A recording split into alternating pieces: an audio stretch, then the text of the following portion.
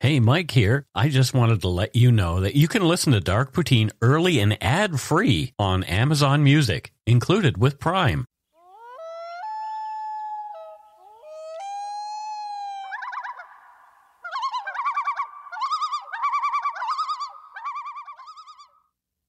Welcome back to Dark Poutine. My name is Mike Brown, and I am here in the Dark Poutine studio in Langley, British Columbia. And Matthew's back home in Vancouver. Hello, Matthew Stockton. How are you today? he asked, uh, sort of with trepidation, because I know you're cranky. Before we're recording, Mike and I are talking. It's one of those days where every sing every single thing that could have went wrong went wrong. Mm-hmm. Uh, probably not unlike this uh, episode and what happened. Yeah. A series of of events. Uh, but that was my day. But I'm here, tits and teeth, happy to be Yep. doing the show instead of like working. So let's get at it. The views, information, and opinions expressed during the Dark Poutine podcast are solely those of the producer and do not necessarily represent those of Curiouscast, its affiliate, Global News, nor their parent company, Corus Entertainment. Dark Poutine is not for the faint of heart or squeamish. Listener discretion is strongly advised. We're not experts on the topics we present, nor are we journalists. We're two ordinary Canadians chatting about crime and the dark side of history. Let's get to it. Put on your toque, grab yourself a double double and a Nanaimo bar. It's time to scarf down some dark poutine. You are responsible for obtaining and maintaining at your own cost all equipment needed to listen to Dark Poutine. Dark Poutine can be addictive. Side effects may include, but not be limited to, pausing and questioning the system, elevated heart rate, pondering humanity, odd looks from colleagues as you laugh out loud at work, family members not into true crime worrying about you. Positive side effects may include some perspectives and opinions that you disagree with, as well as some wokeness and empathy. If you don't think Dark Poutine is for you, consult your doctor immediately.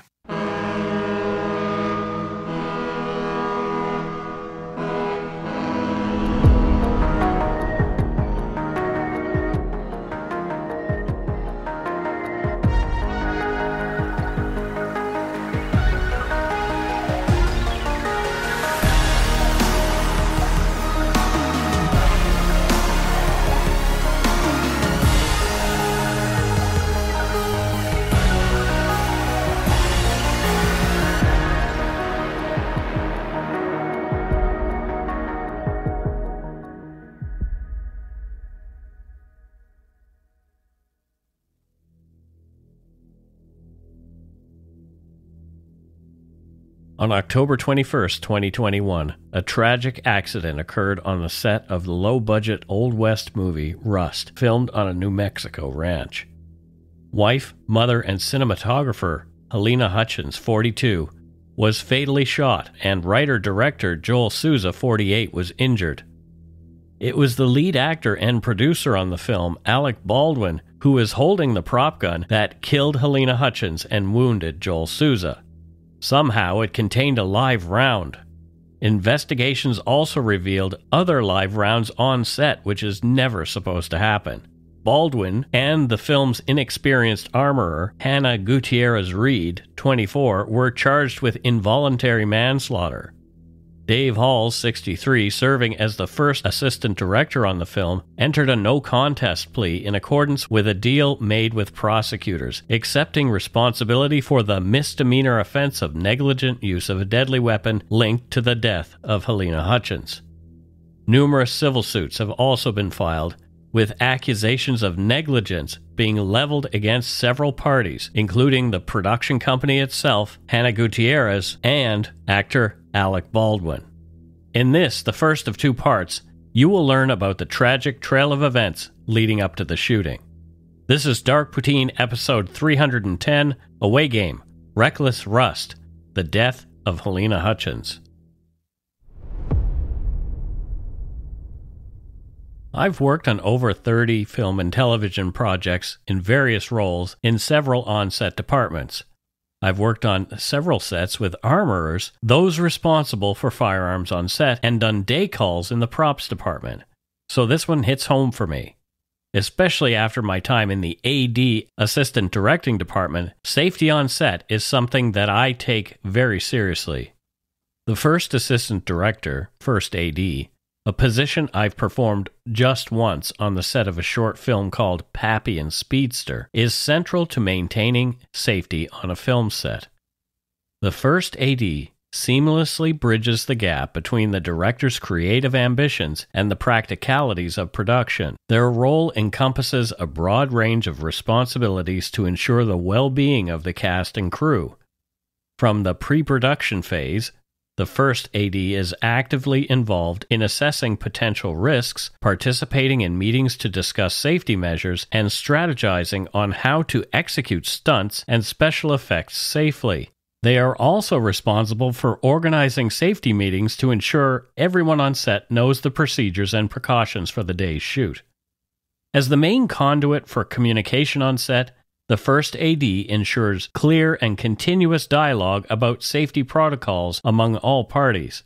They coordinate closely with departments such as stunts and special effects to integrate safety recommendations into the production plan. A good first AD is vigilant in enforcing safety standards, monitoring the set for hazards, and ensuring compliance with safety regulations, including using appropriate protective gear.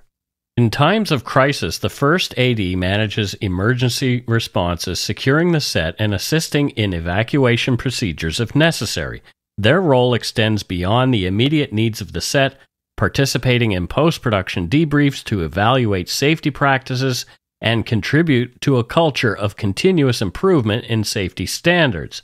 Overall, the First AD's comprehensive approach to safety is pivotal in facilitating a secure environment that supports the creative process while protecting the film's most valuable asset, its people.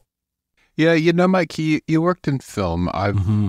done probably hundreds of television commercials in my life. Still shoots and television commercials, right? Sure. You know, things from like I've hoisted a woman 60 feet into the air wearing an angel thing for, for, for, uh, what was that? What's that horrible white powder you put into your like horrible instant coffee? Coffee mate? Coffee mate. I did a coffee mate commercial for like literally hoisting a woman, like all kinds of crazy stuff. I've like a 747 being pulled down a runway. And yeah, there's uh, I've never had never had a bad accident or Mm. or anyone actually even get hurt on set before. Um, but yeah, I mean, your experience, you understand it, and me less so, right? Less so, but uh, you know, involved in productions, and um, it's uh, you know, if if the people are getting hurt and killed, Yeah. the the show does not go on. No. Overall, ADs treat safety and accidents on set with the utmost seriousness. Although rare, fatalities on film sets have occurred over the years. According to a review of U.S. government data and published reports by the Los Angeles Times, at least 19 fatal injuries took place on film sets nationwide from 2010 to 2019. Overall, at least 47 fatalities have occurred among 250 film production accidents since 1990. Furthermore, the Associated Press AP estimates that there have been 43 fatalities on American film sets since 1990, along with another 150 actors or crew members left with life altering injuries. Some of these have led to civil suits, industry wide safety inquiries, regulatory changes, and in rare cases, criminal charges. One notable tragedy occurred in 1982 on the set of Twilight Zone, the movie. Actor Vic Morrow and two child actors, Myca Dinh Le and Renee Shin-Yi Chen, died during a stunt involving a helicopter. The helicopter crashed on them during a scene involving explosions, leading to Morrow and one of the children being decapitated and the other child crushed. The film's director, John Landis, and four other crew members were charged with involuntary manslaughter. The case went to trial, marking a rare instance where filmmakers were held criminally responsible for their actions taken during production. After a lengthy trial, all defendants were acquitted in 1987. The families of the deceased filed lawsuits against Warner Brothers, John Landis, and other production entities involved. The cases were settled out of court for undisclosed amounts, though it was widely reported that the settlements were substantial. The incident brought to light violations of California's child labor laws, including hiring children for hazardous work at night and without proper permits. This led to stricter enforcement of existing laws and heightened awareness of child actors' safety and labor conditions. The fatalities prompted the film industry to adopt more rigorous safety standards and protocols. The Directors Guild of America and other industry bodies emphasized the importance of safety on set, leading to the development of more comprehensive guidelines for stunt work and the use of special effects. The tragedy led to increased scrutiny of film sets by regulatory bodies and advocacy groups. The tragedy led to increased scrutiny of film sets by regulatory bodies and advocacy groups. There was a push for transparency in how scenes involving stunts and potential hazards were planned and executed. The incident underscored the need for dedicated safety professionals on film sets, leading to a rise in the hiring of safety coordinators and consultants who specialize in complex sequences like stunts and special effects. Yeah, I thought there would be um, stricter child labor laws earlier than that. I can remember early 90s Moscow, right? Mm-hmm. We actually used for Nesquik, you know, it used to be called Quick, right? Nesquik. Yep. Um, we used to use a woman who could do a child's voice as voiceover Sure. because of the child labor laws at the time. So we just used an adult to fake it, right? Because Mhm. it was so limited. And just thinking back that if Russia had uh, child labor laws that strict back then, you think America would as well. Well, I, I I think it also mentions in the text that I read that there were not proper permits. Mm. There was a lot around that particular event, the Twilight Zone movie, that was uh, a little, as we see over and over again, when people are pushed to, you know, hurry, hurry, hurry. This is what happens. This kind of stuff happens, and if corners are cut to save money, Mm. Sometimes people die. The deaths of Morrow and the two children left a lasting mark on Hollywood, serving as a somber reminder of the potential costs of negligence and the importance of prioritizing safety over artistic ambition or budget constraints. More recently, in a tragic event that shook the film industry and highlighted the importance of safety protocols on set, camera assistant Sarah Jones was killed during the filming of Midnight Rider, a biographical film about musician Gregg Allman. On February 10, 2014, the film crew was setting up a shot on a railroad trestle in Wayne County, Georgia, when a train unexpectedly approached. Despite the crew's attempts to clear the tracks, Sarah Jones was struck and killed by the train. The incident also injured several other crew members. The aftermath of Sarah Jones' death led to significant legal and industry wide consequences. Again, the incident highlighted that the film's producers did not have permission from the railroad company to film on the tracks. This revelation led to criminal charges and civil lawsuits. Significant legal repercussions and a profound industry wide impact ensued. Regarding legal consequences, Randall Miller, the film's director, entered a guilty plea to charges of involuntary manslaughter and criminal trespassing as part of a plea agreement. He received a two year jail sentence, was placed on probation thereafter, and was barred from directing or assisting in the direction of any film during his probation period. Additionally, the Jones family pursued wrongful death lawsuits against multiple involved parties, including Miller, various producers, and the railroad company. These suits were resolved outside of court, though, again, the specific terms of the settlements were not disclosed.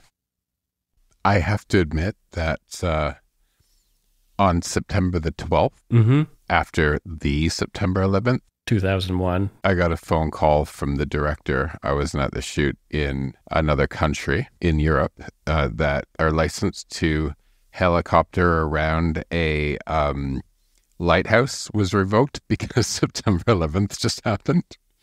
Yeah. But I demanded that he just quickly fly the helicopter closely, get one shot, and then get out of there. And we did, and we got the shot. So yeah, so here's the thing. Like the, I'm glad nothing happened. I mean that that was things were grounded at that time because people were nervous. Yeah, exactly. And that's the thing. It wasn't a safety thing. It was a let's not freak people out thing, but we just quickly got the shot. I'm glad nothing happened. The industry felt a profound impact from Jones's untimely death, leading to a heightened awareness of safety on film sets. The incident ignited industry wide discussions about the necessity for stricter safety protocols and enforcing existing regulations. It really, you know, I'm just going to comment here, it really sucks that deaths have to happen or deaths happen before change is made. The hashtag Safety for Sarah campaign emerged in response to the tragedy, with the film community uniting to enhance safety awareness and honor Jones's memory, resulting in widespread tributes and initiatives aimed at bolstering set safety. Slates for Sarah became a poignant tribute within the industry with film crews worldwide inscribing messages on their camera slates to emphasize the critical importance of safety in filmmaking. Furthermore, the tragedy prompted unions, production companies, and safety organizations to reassess and strengthen their safety guidelines, underscoring the importance of securing proper permits, ensuring clear communication, and adhering strictly to safety protocols. It's I feel like I'm saying the same thing over and over and over again after each of these tragedies. It's interesting, right? Because, you know, work person safety, like mm-hmm. on, on, a construction site. So, you know, my brother works for the town of Strathroy, right? Yep. And yep. he's crawling, crawling through sewer systems and stuff like that. You kind of, you think, yeah, union, you think, yeah, safety. But because of the magic of movies, mm-hmm. people don't think of that. But the truth is, yeah, they're making something magical. Yeah. Right? If it's a good film, could be crap, but it's a job.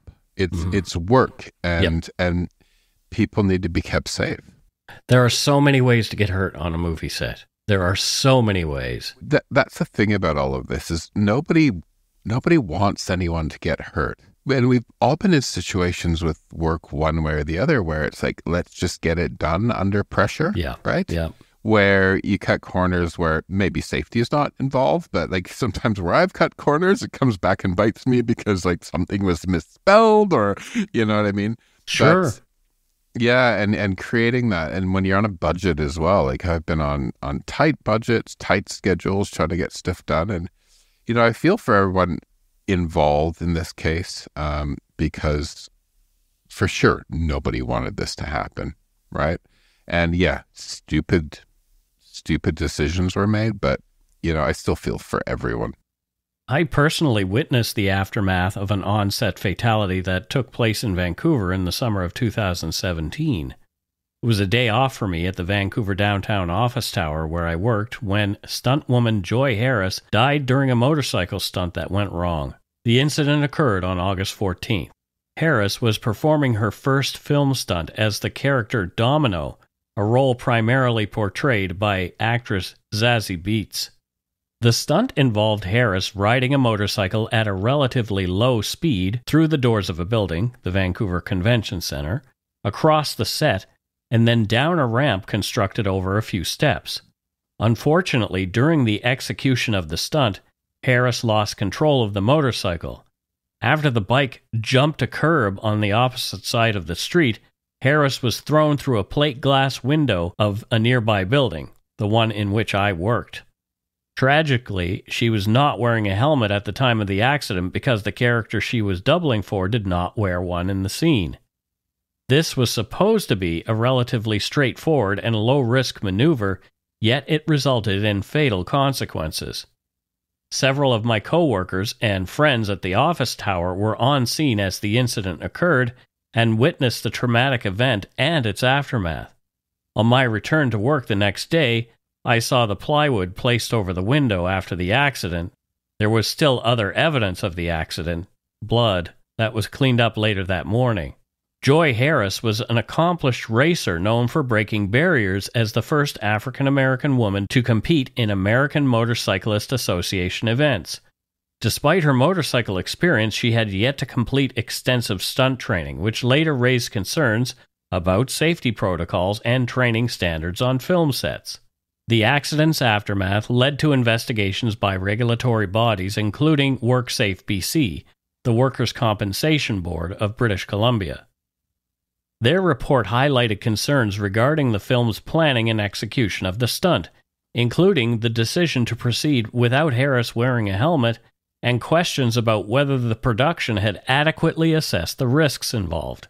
There are many ways to be injured on set, and firearms, although much more rare, are sometimes involved. On October 12, 1984, while on the set of a CBS television series Cover Up, actor Jon-Erik Hexum was involved in a fatal accident that led to his death. During a delay in filming, Hexum, reportedly bored and playing around, took a 44 Magnum prop gun loaded with blanks and jokingly placed it to his temple. He then pulled the trigger. Although the gun was loaded with blanks, the discharge of the blank cartridge produced a force sufficient to drive a piece of skull into his brain, causing severe hemorrhaging. Hexum was rushed to the hospital where he underwent five hours of surgery to remove bone fragments from his brain. However, the damage was too severe, and Hexum was pronounced dead six days later, on October 18, 1984, at the age of 26. His death was ruled accidental. This tragic incident served as a stark reminder of the potential dangers of mishandling prop firearms on set, even when they are only loaded with blanks blanks can still produce a powerful enough force to cause injury or death if fired at close range. As a result of Hexum's death, there were calls within the industry for stricter safety protocols and regulations regarding the use of firearms and blanks on film and television sets to prevent similar accidents in the future. Jon-Erik Hexum's untimely death also led to increased awareness about the need for on-set safety officers and more rigorous training for actors and crew members in the handling of prop weapons. In Wilmington, North Carolina, Brandon Lee's death on March 31, 1993, during the filming of The Crow, is one of the most infamous and tragic accidents in film history. Lee, the son of martial arts legend Bruce Lee, was set to follow in his father's footsteps and become a major star with the release of The Crow. The film, directed by Alex Proyas, was a dark, gothic action movie requiring numerous firearm scenes. This film has just been remade and is about to be released and stars Bill Skarsgård. The Brandon Lee incident occurred during the filming of a scene that required Lee's character to be shot with a 44 Magnum revolver. Unbeknownst to the cast and crew, mishandled prop handling procedures led to a fatal error. During a previous scene that was not filmed, a dummy cartridge, a real bullet without gunpowder, used for close up shots to make the guns look loaded, was improperly prepared and inserted into the revolver. The primer, which causes the bullet to fire, was not removed from the dummy cartridge. So when it was struck by the firing pin, Intended to simulate a firing gun without discharging a projectile, the bullet became lodged in the barrel. Later, without checking the gun for barrel obstructions, the crew replaced the dummy cartridge with a blank round for the scene involving Brandon Lee. Blanks contain gunpowder but no bullet and are intended to create a flash and bang without firing a projectile. However, when actor Michael Massee fired the blank round, the gunpowder's force propelled the lodged bullet out of the barrel with nearly the same force as a live round. Brandon Lee was struck in the abdomen by the bullet and fell to the ground. Initially, some on set thought he was acting, however, it soon became clear that he was seriously wounded. Lee was rushed to the hospital, but despite emergency surgery, he died later that day. He was just 28 years old. The investigation that followed Brandon Lee's death led to increased scrutiny of firearms safety protocols on sets. Although no criminal charges were filed, the incident significantly changed how prop guns were handled and regulated in the film industry. New safety standards were implemented, including more rigorous checks of firearms before and during use, the presence of firearms experts on set, and clear guidelines for the manufacture and handling of prop ammunition. So, this is how old I am, Mike. I started when we filmed stuff on film. Yep. And if there was a mistake, I can remember once. It's exp- it's it's expensive. Yeah. Did you know what the flame was? Where you'd you'd it was called the flame. It was like fifteen thousand dollars a minute, and you'd like li- retouch frame by frame, right? Yeah. If if there was an error in it. So my question here is like at this point, can't we just do visual and sound effects at this point for guns? Like why why even have guns that have the capability of firing for a movie? There are a lot of films that do do that now. Um, the ones that don't spend the money on the effects, it's very obvious, but there are some they will have prop guns that are not made to fire. They're not actually real guns, and you can't tell the difference with with the Yeah. visual effects. But it's a filmmaking choice. I don't see a problem with having firearms on set as long as people are doing what they need to do to ensure that they're safe. I mean, I've I've worked with a lot of firearms on set, and yeah. there's never been an incident that I was aware of on a film that I was working on. As far as I could tell, the people who were the armorers that I worked with were very serious about their jobs. A lot of them were ex-military or ex-police, and they they were very very adamant that safety be practiced. Absolutely, and you get real characters when you when you're like. I used to have a have a joke that all of my producers were always these, all like the hard notes producers were always like the chain smoking hard woman who just Yeah. took no shit from anyone. Okay, we're gonna do this next. And, yeah, exactly like that. And Yeah. they always those like, and they're always women, right? The, like the the best the best producers I've worked with. Oddly, I'm not saying that women are better, but the best ones I ever worked with, Mhm. like running the production of a commercial, Hmm. has been like a 50 to 60 year old something hard nosed chain smoking woman who gets shit done. Yeah. Brandon Lee's death, much like his father's almost 20 years prior, left the public and his fans in shock, adding to the mystique surrounding the Lee family. The Crow was completed using digital effects and stunt doubles, and it became a cult classic, partly due to the tragic circumstances of its production. Lee's performance and the film's stylistic visuals are a haunting reminder of what could have been a bright future for the young actor. Despite these incidents, the scrutiny that followed each of them, and the changes made to ensure more safety on film sets, somehow, live rounds found their way onto the New Mexico set of the Western Rust, ultimately killing cinematographer Halyna Hutchins. After the break, we'll learn more about Halyna and her involvement in the film.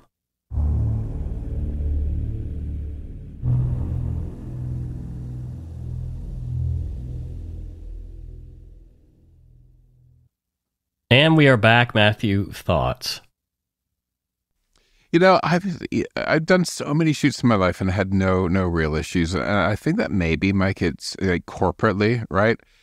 You know, if if you hurt somebody or somebody dies while you're shooting a commercial for a brand, that's not going to do much for the brand. So I think there's a lot of a lot of safety is considered in those situations, Sure. right? Because it's it's it's one step away from art. It's commercial, right? There's like it's a business decision.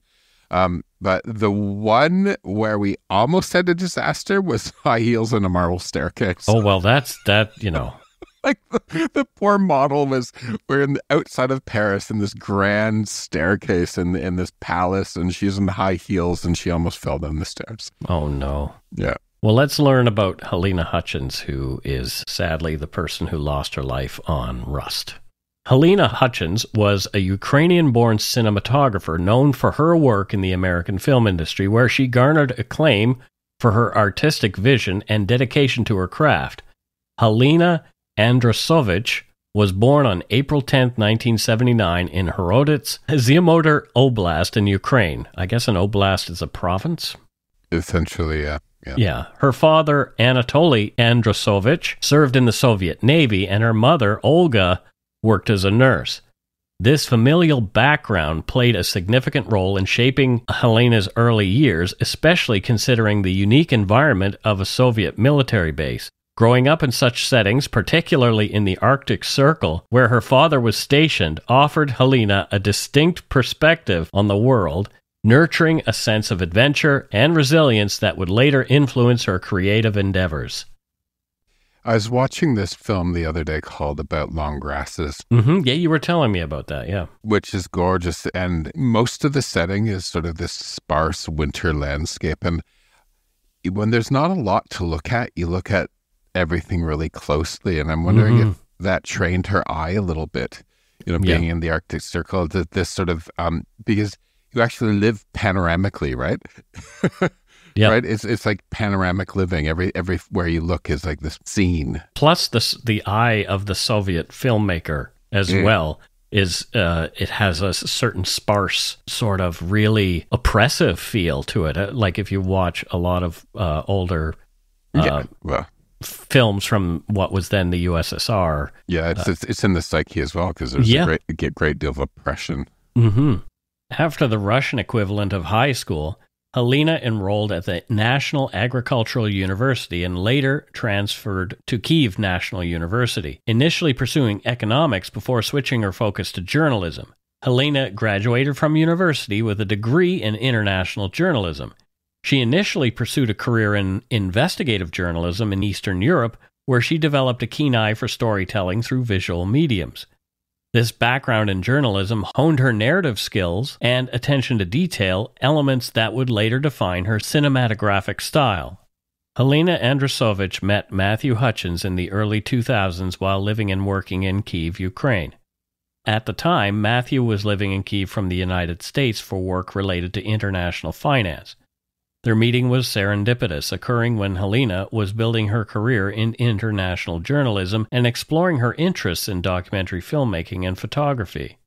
Their relationship began and blossomed across continents, reflecting a shared appreciation for adventure, culture, and the arts. The couple's connection deepened over their mutual interests and perspectives on life, leading to their marriage.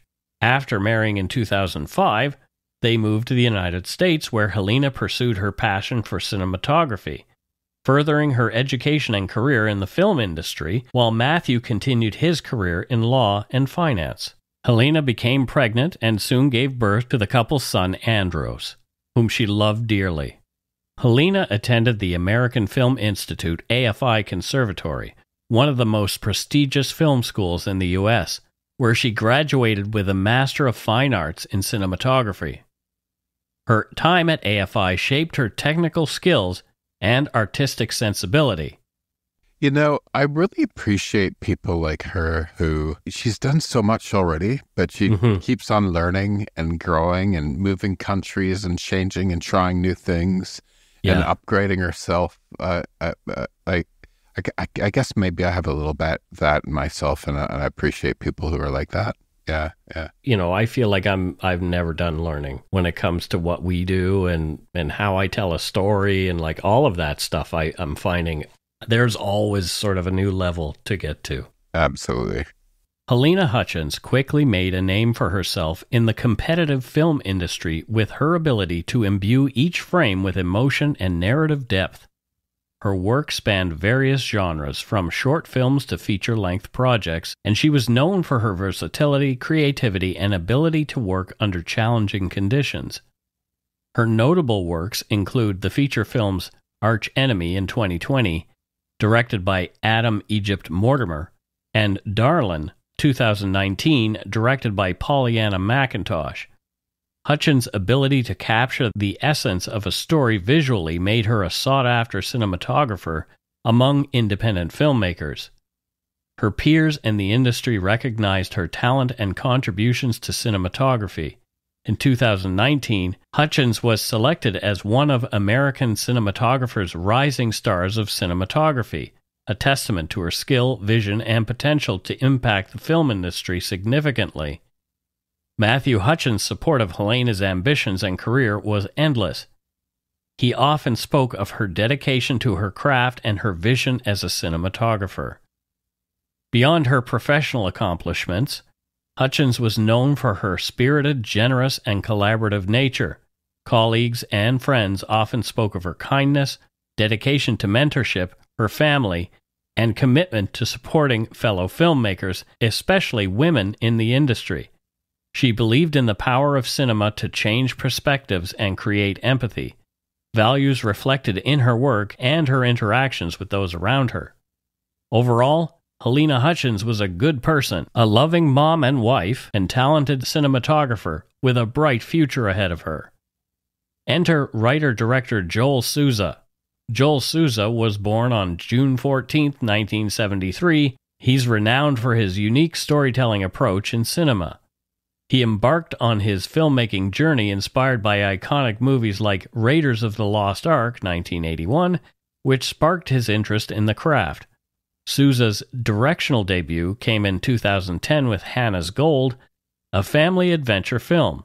He gained further recognition with Crown Vic, a thriller that premiered at the Tribeca Film Festival and explores the life of patrol car officers. This film drew mixed reviews, with some critics noting similarities to Training Day in 2001. During the pre production of Souza's movie Crown Vic, he came into contact with actor Alec Baldwin. Baldwin was at one time attached to star in the film, but after financing issues and scheduling prevented Baldwin from an acting role in the film, he did stay on as a producer. Baldwin enjoyed Souza's vision, as shown in Crown Vic, and was impressed by him, so the two began discussing making a Western together. Souza began writing the script that would eventually become Rust, with Baldwin in the starring role. Baldwin would star in the film, act as one of the producers, and co write the story with Joel Souza.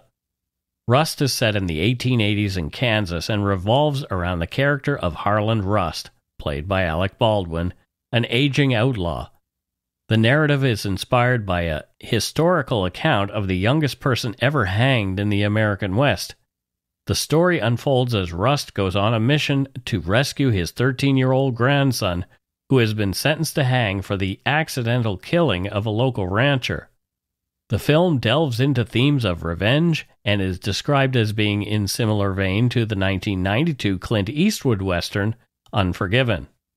Alec Baldwin said he'd always wanted to be in a Western and claimed to have the chops to do it.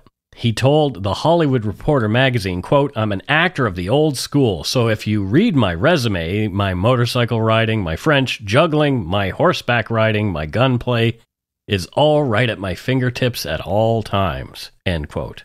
He makes himself sound like a circus act.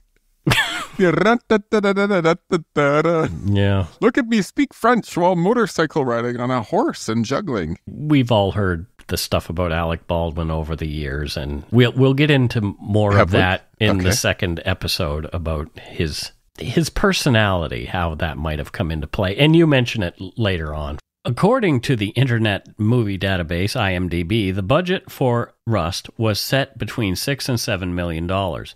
For most people, that sounds like a lot of money, but in filmmaking terms, Rust is a low budget movie. Low budget film financing primarily involves sourcing funds from private investors, crowdfunding, government grants, and film tax incentives. These films often rely on a tight budget, necessitating creative approaches to minimize costs while maximizing production value. Private investors contribute in exchange for a share of potential profits attracted by the project's artistic vision or commercial prospects. Crowdfunding platforms like Kickstarter allow filmmakers to raise funds directly from the audience, offering perks or credits in return. Government grants and incentives in various regions support cultural production and can significantly offset costs. Additionally, low budget projects often lean on in kind contributions, deferred payments, and the filmmaker's own resources to stretch their budget further. The goal is to craft a compelling narrative within financial constraints, leveraging resourcefulness and innovation to bring the film to life. Before they started shooting Rust, a distribution company called The Avenue acquired the rights to the film for $2 million. As with many other projects, on Rust, a committee comprised of several producers and the director hired the department heads for the film. When it comes to how the film looks, cinematography especially, the director is almost solely responsible for choosing the DOP, director of photography, often by way of a list of talented and within budget candidates. At the recent involuntary manslaughter trial of Rust armorer Hannah Gutierrez, an emotional Joel Souza testified about how Halyna Hutchins had become involved in the film. And here's some audio of his testimony.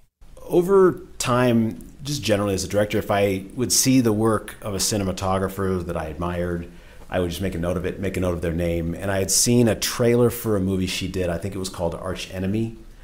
Um, and I just was impressed visually. It looked like something that was sort of my, it fit my style. And so I looked into some of her other work and I had added her to a list of, of other names I had put together over the years. I know, I think, I can't remember what publication, if it was an American cinematographer or something like that, but they had named her one of 10 cinematographers to watch. That's a big deal. And, uh, and so when the time came, uh, generally I would ask one of the producers to start, if you could, reach out to their agents and I could start talking to people and, you know, these are the people I'm most interested in. And they would do that and see who's available and who's not. And then I can't remember the exact number of people I spoke to, the exact number of cinematographers. It was a decent amount, you know, more than seven or eight. And, uh, but we had a, it was all over Zoom. We were in the middle of COVID still. Uh, we had a very long Zoom conversation where it's those kind of great conversations where first you're sort of talking about what are your influences, what are your that, and by the end you're just enjoying a great conversation. And uh, in the end, it had uh, it had come down to her and a few other uh, women who I was a fan of, and uh, it was they were all excellent, but something about uh, Halyna just we were really, really, really in tune with what we both thought the movie should be. She had some really interesting references she would make. And my references would always tend to be a little more mainstream, and she would be talking about some avant-garde Russian filmmaker, and that's a hole in my game, and she was going to fill it, and I loved that. And so that's that's how I, I asked the producers to uh, told her that told them that's who I wanted. Please don't botch the deal, and because uh, she's great, and so that's how we we came to work together. So. Souza also testified that he was impressed with Halyna's association with the AFI. AFI is a uh, prestigious uh, name in our in our business. I think it's it's always impressive to me when someone goes through there. I think um, as a woman cinematographer, I think that's doubly impressive. Just because if you look at the numbers in this business, they're sort of atrocious in that regard. Um, but yeah, I think you know, and that coupled with the work I'd seen from her and just you know she was very keen to do a western, uh, as I think all filmmakers are, because it's just a, a, really interesting thing to do visually. Okay. And uh, but she, yeah, I think between those things, between her work and her you know her background, I think she was kind of a no brainer to me. So there you go. Um, thoughts on the process of choosing a cinematographer there, Matthew? Yeah, it tracks. Yeah. Yeah. Right. It's it's um You've you've hired creatives before, so you you know exactly. I've hired creatives. I've I've I've been pitched different uh, directors, mm-hmm. right? And um, it's sometimes when you're talking to them. Mm-hmm. So often, what you'll get is you'll get directors for commercial. You get get them to do a rough idea of how they would approach it. Sure. And and sometimes they they just nail it and you have a conversation and you realize that your head's space is in the same place or they mm-hmm. bring something to the table that you're like you hadn't thought of. You yeah. hadn't thought of and and a way of doing it that um, could either go completely wrong or completely right and you have to right, be able yeah. and you have to be able to take that sort of um, leap of faith um, uh, in the creative process to get to something that's way better than you, uh, who is not a filmmaker, uh, mm. could get to, and sort of trust trust the experts. Yeah.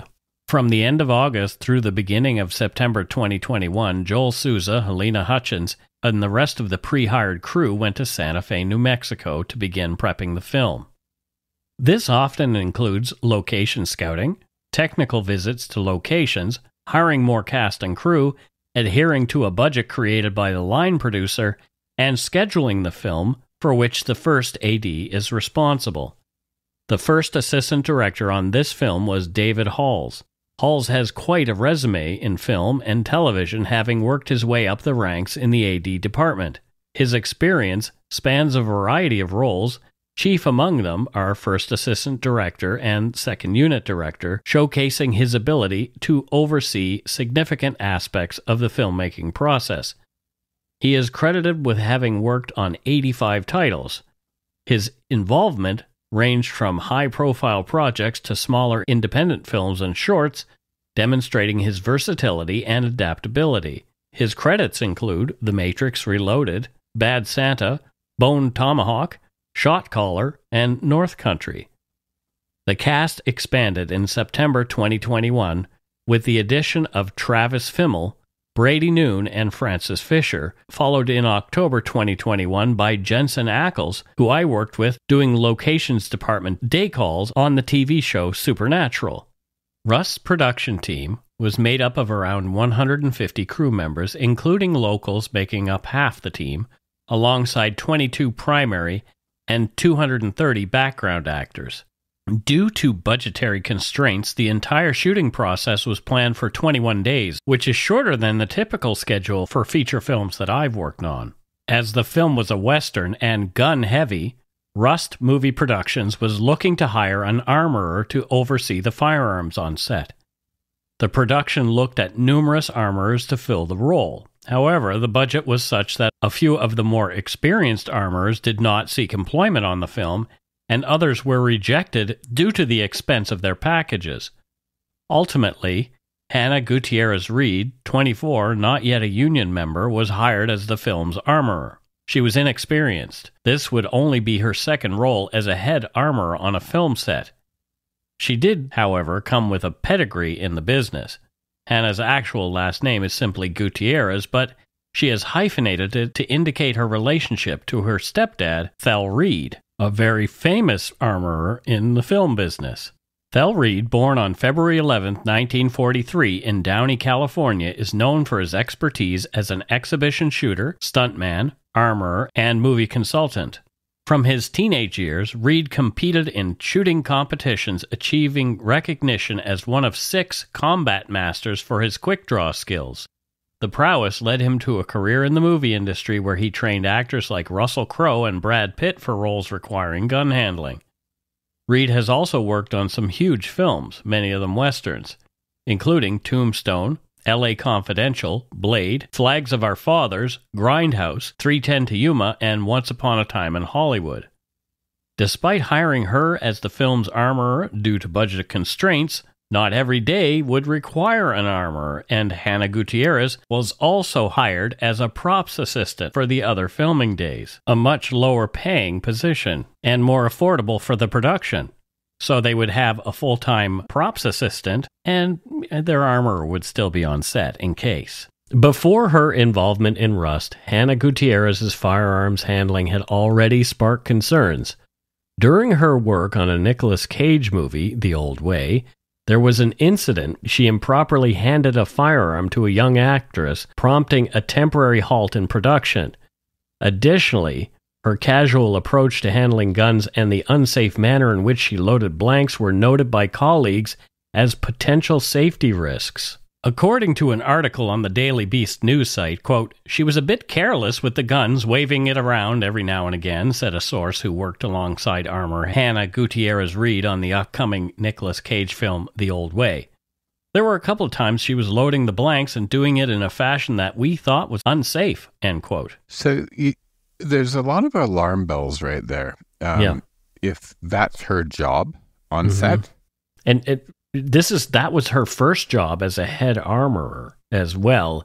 yeah. And I'm I'm sorry, but anyone who's 20, I don't want to be ageist, 24, yeah. but anyone who's 24 years old should not be the head armorer on a shoot. You just do not have the experience. she did not have the experience.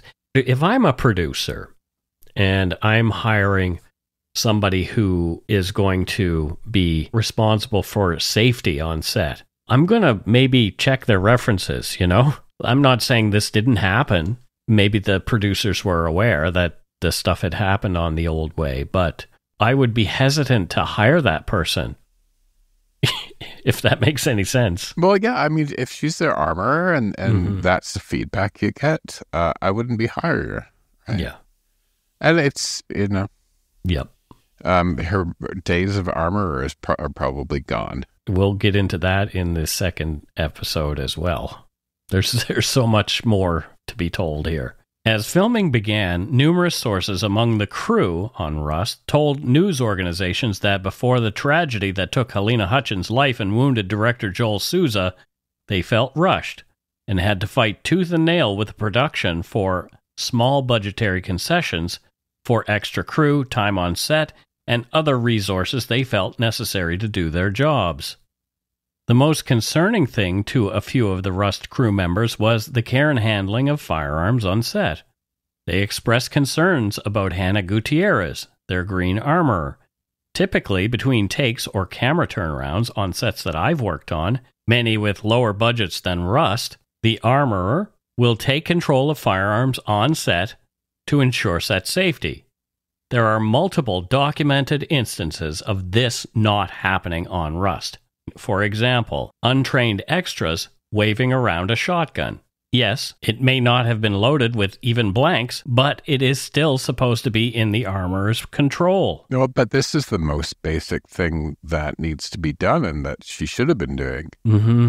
is is that's the point of an armor Yep. is to take control and ensure safety. Yep. Yep. That that's the point. That's the job. It was the job, but apparently she wasn't doing that. Crew members cited improperly trained actors waving real guns around on set between takes, sometimes not maintaining what is called muzzle discipline, carelessly pointing the firearms at other cast and the crew. Muzzle discipline, on film sets or anywhere else, involves always pointing the gun in a safe direction, ensuring it's never aimed at someone who is at someone unless absolutely necessary for the scene, under strict safety protocols. Trigger discipline is the same thing. Do not put your finger on the trigger unless you plan to fire that weapon. Other gun safety protocols include checking the firearm status before each use, declaring whether it's cold, unloaded, or hot, loaded with blanks, never live ammunition, and strict adherence to safety briefings. The armorer is responsible for managing all firearms on set, ensuring they're correctly prepared and safe to use, educating cast and crew on proper handling, and maintaining control over firearms to prevent accidents. Several crew members claim, and video evidence supports, Hannah Gutierrez herself not following safety procedures. She was sloppy and unprofessional. A B roll video showed Hannah taking a shotgun from an actor by the barrel, pointed up at her own face. Video evidence of Alec Baldwin was also telling. In one instance, Baldwin can be seen firing his pistol unsafely in a take involving gunfire using blanks closer to the camera than is typical protocol.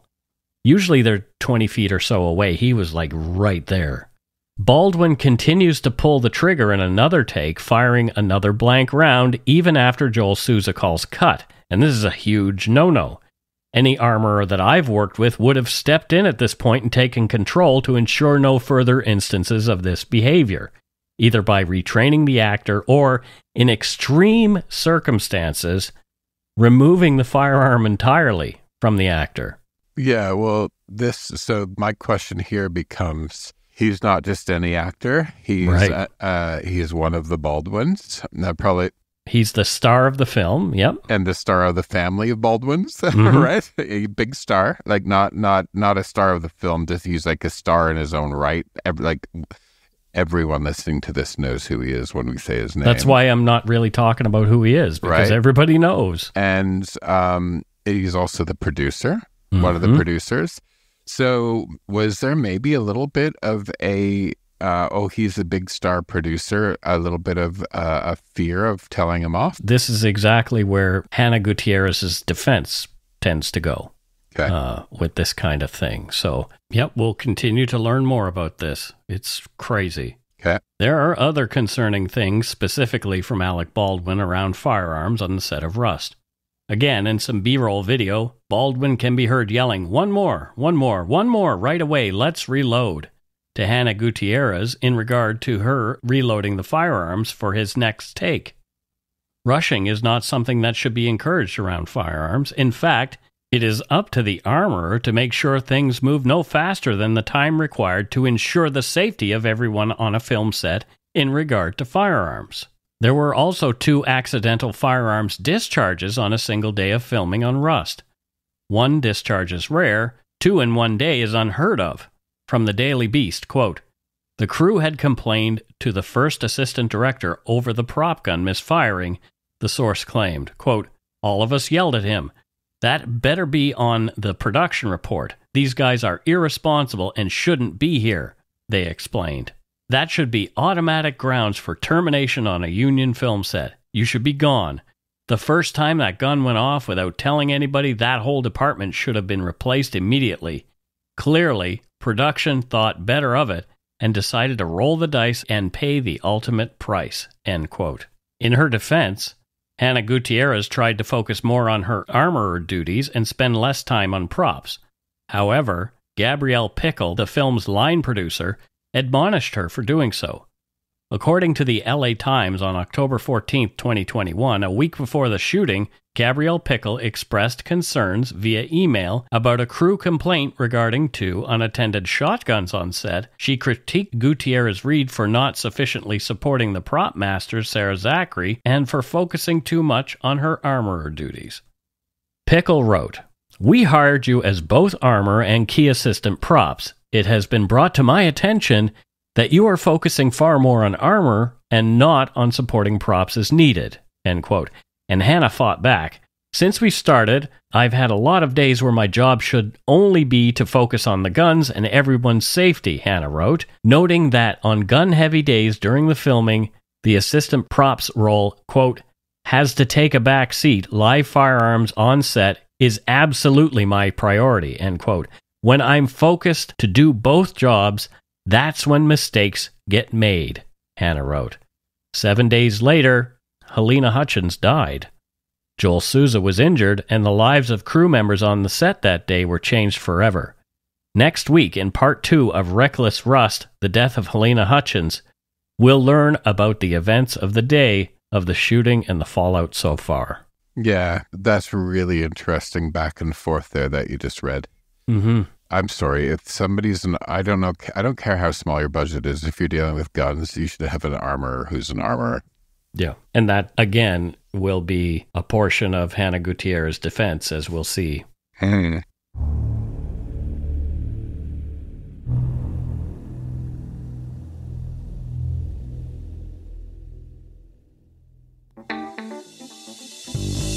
That's right. It's time for voicemails.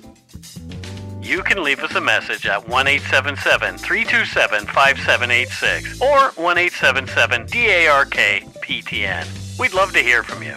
Let's see who called us this week. All right. Let's check out our first voicemail. Hey fellas. Robot Pete here. Sorry for the multiple voicemails. My robot circuits got a little gooey and I called too soon. In a recent episode you asked for listeners to call in with a joke. I've reviewed my robot repository and found this inappropriate joke for you. Why did the vacuum cleaner break up with the broom? Well, it realized they had different sweeping styles and couldn't handle the dirty corners of their relationship. but let me emphasize, this is purely a tale of household appliances and has absolutely nothing to do with any inappropriate or suggestive content. Thanks for the shows and go shit in your hats. P.S. Give my robot love to Steve. Oh, oh boy. um, yeah, so. so that was Great Big Pete doing Robot Pete. It, it was Robot Pete. It wasn't was, Great Big Pete. It was Robot Pete. And that was a very bad joke. well, I I was sure there was something that would have had to do with sucking. Do you re- uh, yeah, th- yeah, that's, that's, where I thought it was going as well. Mm. Um, do you remember the cartoon when you were a little kid, Romeo and Juliet? Yes, I do. I loved that. I loved it. That was loved like an it. early robot story. Mm-hmm. Do you remember that? that yes. Just, it just reminded me of that. Romeo yeah. and Juliet. Juliet. Yeah, it was so cool. It was Canadian, I think. I, I do believe it might have been. Okay. If it was, I think it was Nelvana, which was the animation company way back when. Okay. Yeah. Anyway, uh, thank you, Thanks. robot. Thank you, Robot Pete. Thank you, Robot Great Big Pete. We appreciate that. uh, and here's another. Hi, Mike and Matthew. Uh, longtime listener here. I'm from Vancouver Island. I've been listening to your podcast for quite a few years now. I just wanted to say that I really appreciate how you guys deliver your content and all the research and hard work that goes into it. Um, it's also very entertaining, so you guys put a twist with your sense of humor in a respectful way, and I very much appreciate again the delivery of your content. Anyways, I just wanted to say hi and tell you to go take a shit in your hat. Well, thank you very much over Thanks. there on Vancouver Island. I'm, I'm hoping we get over there at some point soon again because Well, I, I can love it. I can see it from my window. Yeah, yeah, let's go over there. it's so close. I, I kind of want to do Nanaimo this time. I mean, we've done Victoria a few times, but I'd like to maybe see if we can talk to folks in Nanaimo, have like a little get together there. Wonder if they'd be in, into it. I I like to do Tofino. Tofino, yeah, Tofino's nice. I like Tofino. It's a bit of a drive though. Anyway, but it's Tofino. yes, but it's Tofino. Okay, so somebody just called from Florida who hadn't called since 2023, but it broke up, so they couldn't play it or hear you. So can you please call back next Yeah. week? Call us back, please. Right? Because Yeah. I was like, somebody called 2023, hadn't called since then. I want to hear what she had to say. I want to hear it too. That's it for this week's voicemails. Again, you can leave us one at 1 877 327 5786 or 1 877 DARK PTN.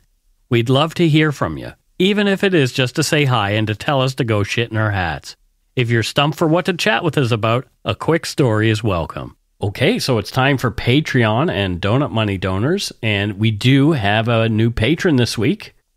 And that person's name is Drum roll. Ian James, and Ian is from Charlottetown, Prince Edward Island. P I I. PEI. How about that? So, what do you think Ian Byrne does there in Prince Edward Island, Matthew? He is a Vizsla breeder. A Vizsla breeder. Oh, Yes. we've had we've had a Vizsla breeder before. I think No, we did not. we had something to do with Vizslas. Really? Yep. But Huh. uh, I love Vizslas. They're they're a nice dog. My friends Rick and Wendy had a Vizsla. I don't know I- if you know that. I have my doggy calendar on my desk, and today is a Vizsla, so that's what made me think of it. Oh, nice. They're such handsome dogs. Yeah, they are. We've got a couple more patrons as well. Oh, nice. We have Stephen Bryan, and Stephen is from Abbotsford, British Columbia, where you think I live, but I don't. I live in Langley. Ah. But Stephen is from Abbotsford. So what does Stephen do there in Abbotsford? Stephen Bryan. he turns me around when I'm trying to find you and sends me to whatever town you live in. Okay, so he's he works sort of in tourism and uh, No, in ju- ass- just- assisting dum dums. No, just for me. I just I him. Just for you. I him what what town do you live in again? Langley. Langley. Yeah, he sends me to Langley every time I go to Abbotsford. Oh, there you go. well, thank you so Thank you, much, Stephen. Stephen, for doing that because uh, Matthew gets lost. He just There- gets lost. There's an airport in Abbotsford, isn't there? Yes, there is. Okay. But I, I really like taking the a- airport from Bellingham if I'm going somewhere in the States. Bellingham. Bellingham. Uh, and we have one more, one more One more. patron, and her name is Nadia Kirilova. Nadia, Nadia- Kirilova. Kirlova. I, I don't know if Nadia, where Nadia is from, but I don't want to make any assumptions. Nadia is Mm-hmm. from a very small town Mm-hmm. called Alert. Alert? Like Yeah. Alert Bay? Yeah. Okay. Interesting. What's she, what's she doing up there in Alert Bay, British Columbia? What is she doing there? Yeah. Nadia is a weather balloon specialist. Oh, th- I could see how that would be useful up there. Yeah. for sure. Yep. So she she like she knows that she used to design them, but now she like man, manages them and Okay. and, yeah. Well, there you go. And all those UFO scares we had a while ago, they're they're Nadia's balloons. they were her balloons? Yeah. yeah. She should be more careful with balloons because, you know, uh, didn't uh, people get uh, the armed forces got sent up there to blow up those balloons? So, I mean, she she probably lost um, lost a bit of cash. Yeah, she that. lost a few balloons. Yeah. Yeah, she lost a few balloons, and and uh, you know the government had to spend uh, an inordinate amount of money to ensure that uh, the boon- the balloons were blown up. so yeah, be more careful with your balloons, please. Please, you know, for the for the sake of all of us, be be more careful with your balloons. Thank you to all the Patreons. Yes, thank you. Uh, we don't have Very any, much appreciated. no no no new donut money donors, but uh, that is coolio. Thanks to all our patrons and donut money donors, past and present, for your generosity. It helps to keep the show going. You can become a patron of Dark Poutine at patreon.com slash darkpoutine. For a one-time donation, you can send us donut money via PayPal using our email address, darkpoutinepodcast at gmail.com. If you don't already subscribe to the show, it would mean a lot if you did. You can easily find Dark Poutine on Apple Podcasts, Spotify, or wherever you listen to your favorite shows. If you haven't gotten yours yet, my book, Murder, Madness, and Mayhem, is available to order via a link on the Dark Poutine website. And speaking of darkpoutine.com, please check it out for show notes and other cool stuff. We'd appreciate it if you took the time to give Dark Poutine a like or a follow on Facebook and Instagram. Most importantly, thank you for listening and tell your friends about us. Word of mouth is a powerful thing. I guess I should put up a link to the pre orders for my second book on darkpoutine.com and on our other socials because uh, that's happening now. You can pre order my book on Amazon, Audible, and uh, Apple Books as well. I'm sure other places. I haven't checked chapters Indigo, but When probably did, there when too. Did, when did social become socials? I don't know. Do I you remember know. when we called it social? social media? Yeah. Yeah. And yeah, but it- now it's it's but- socials because they're different accounts, I guess. When did that pop up? I don't know. I'm I don't pay attention. I just I'm just going along It's with one the of those words that bothers me. There you go. Well, a lot of things seem to be bothering you today.